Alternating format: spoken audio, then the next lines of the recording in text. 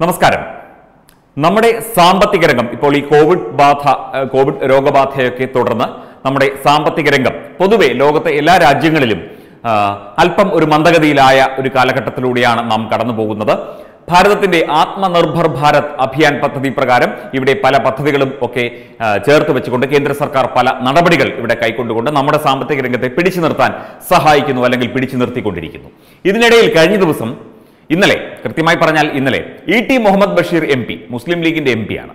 അദ്ദേഹം Islamic bank ഇന്ത്യയിൽ കൊണ്ടുവരേണ്ടതിന്റെ ആവശ്യകതയെക്കുറിച്ചും അത് അങ്ങനെയാണ് ഇങ്ങനെയാണ് ഇസ്ലാമിക് ബാങ്കിംഗ് സംവിധാനത്തെക്കുറിച്ചും ശരിയ നിയമം അനുസരിച്ച് പ്രവർത്തിക്കുന്ന ഇസ്ലാമിക് ബാങ്ക് ലോകത്തെ മറ്റ് രാജ്യങ്ങളിലൊക്കെ പ്രവർത്തിക്കുന്നുണ്ട് എന്നൊക്കെ പറഞ്ഞ് ഇന്നലെ ഒരു പ്രസ്താവന പുറപ്പെടുവിക്കുകയുണ്ടായി പാർലമെന്റ് സമ്മേളനത്തിൽ. ഇത് ഇതിനു മുൻപും പലവട്ടം ലീഗ് എം പിമാരും അതുപോലെ തന്നെ മറ്റ് ഇപ്പോൾ ഈ ഒവൈസിയെ പോലുള്ള അസസുദ്ദീൻ ഒവൈസിയെ പോലുള്ള പാർട്ടിയുടെ എം പിമാരും ഒക്കെ തന്നെ പലകുറി ഉന്നയിച്ചിട്ടുള്ള കാര്യങ്ങളാണ്. മാത്രമല്ല ഇവിടെ popular front S D P I പോലുള്ള സംഘടനകളൊക്കെ ഇസ്ലാമിക് ബാങ്കിംഗ് എന്ന സംവിധാനത്തെ മുമ്പോട്ട് വയ്ക്കുന്നതിൽ വലിയ ഉത്സാഹം കാണിക്കുകയും ഒക്കെ ചെയ്യുന്നു. ഇതിനകത്ത് ഇപ്പോൾ ഈ ഇസ്ലാമിക് ബാങ്കിംഗ് എന്ന് പറഞ്ഞാൽ ഒരു സ്വതന്ത്ര ബാങ്കിംഗ് ആണ് ഇസ്ലാമിക നിയമപ്രകാരം പലിശയില്ല. കാരണം നമ്മൾ പത്ത് രൂപ കൊണ്ട് ഇസ്ലാമിക് ബാങ്കിൽ ഇട്ടാൽ പത്ത് കൊല്ലം കഴിഞ്ഞാൽ നമുക്ക് പത്ത് രൂപ തന്നെ കിട്ടുകയുള്ളൂ. അതാണ് അതിന്റെ സംവിധാനം എന്ന് തോന്നുന്നു. അതിനെക്കുറിച്ച് കൂടുതൽ ഇസ്ലാമിക് ബാങ്കിന്റെ ശരിയാ നിയമം അനുസരിച്ചുള്ള കൂടുതൽ ഗഹനമായ ഗവേഷണമോ പഠനമോ ഒന്നും നമ്മൾ ആരും നടത്തിയിട്ടില്ല നമുക്കറിയില്ല. പക്ഷേ ഈ സംവിധാനം വരുന്നതോടുകൂടി കുറെ സംശയങ്ങളാണ് ഇവിടെ ഉയരുന്നത്. ഈ ഇസ്ലാമിക് ബാങ്കിന് വേണ്ടി മുസ്ലിം സംഘടനകളും രാഷ്ട്രീയ പാർട്ടികളും ഇത്തരത്തിൽ വാശി പിടിക്കുന്നത് എന്തിനാണ്? ഇവിടെ മറ്റ് ബാങ്കിംഗ് സംവിധാനങ്ങളുണ്ടല്ലോ. ഇവിടെ ഇന്ത്യയിൽ അംഗീകരിച്ച പൊതുമേഖലാ ബാങ്കുകളുണ്ട് ഷെഡ്യൂൾഡ് ബാങ്കുകളുണ്ട് സഹകരണ ബാങ്കുകളുണ്ട്. എല്ലാം റിസർവ് ബാങ്ക് ഓഫ് ഇന്ത്യയുടെ നിയന്ത്രണത്തിൽ കൃത്യമായ സാമ്പത്തിക ഇടപാടുകളും കൃത്യമായ നടപടികളും കൃത്യമായ ലോണുകൾ അതുപോലെയുള്ള സംഭവങ്ങളൊക്കെ മര്യാദയ്ക്ക് നടന്നു പോകുന്നുണ്ടല്ലോ. അതിനിടയിലൂടെ ഒരു ഇസ്ലാമിക് ബാങ്കിംഗ് സംവിധാനം ഇവിടെ വരേണ്ടതിന്റെ ആവശ്യകത എന്താണ്?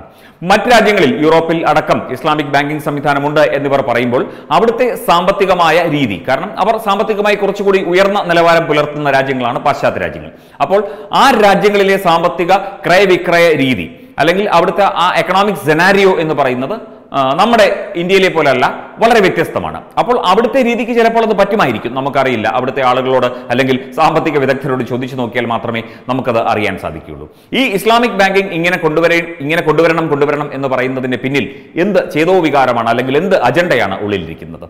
സത്യം പറഞ്ഞു കഴിഞ്ഞാൽ അത് ദുരൂഹമാണ്. കാരണം ഈ ബാങ്കിംഗ് സംവിധാനം ഈ ഇസ്ലാമിക് ബാങ്കിംഗ് സംവിധാനം ഇവിടെ നില നിലനിന്ന് കഴിഞ്ഞാൽ ഇന്ത്യയുടെ സാമ്പത്തിക അടിത്തറയ്ക്ക് തീർച്ചയായും കോട്ടം തട്ടും. കാരണം ഇസ്ലാമിക് ബാങ്കിംഗ് സംവിധാനം കടന്നു വരുന്നതോടുകൂടി മറ്റ് ബാങ്കുകൾ തകരാനിടയാകും. മാത്രമല്ല റിസർവ് ബാങ്ക് ഓഫ് ഇന്ത്യയുടെ നേരിട്ടുള്ള നിയന്ത്രണം ഇസ്ലാമിക് ബാങ്കിങ്ങിന് പറ്റുകയുമില്ല. കാരണം ഇത് ശരിയാ നിയമപ്രകാരം സ്വതന്ത്രമായി വർത്തിക്കുന്ന ഒരു ബാങ്കിംഗ് ശൃംഖലയാണ്.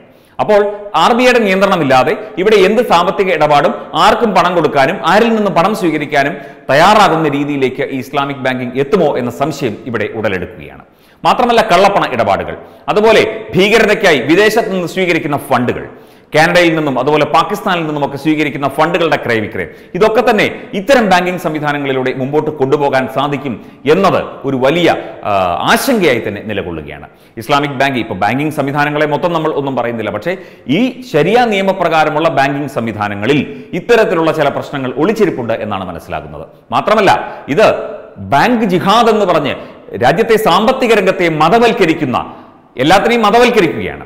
ഹലാൽ ഭക്ഷണത്തെ മതവൽക്കരിക്കുന്നു ഉൽപ്പന്നങ്ങളെ മതവൽക്കരിക്കുന്നു നിർബന്ധമായി അടിച്ചേൽപ്പിക്കുന്നു. കുറച്ചുനാൾ കഴിയുമ്പോൾ നിങ്ങളുടെ പണമിടപാടുകൾ ഈ ഇസ്ലാമിക് ബാങ്കിംഗ് വഴി മാത്രമേ സാധിക്കൂ എന്ന നിലവാരത്തിലേക്ക് ഇവിടെ എത്തിക്കഴിഞ്ഞാൽ എന്താകും സ്ഥിതി?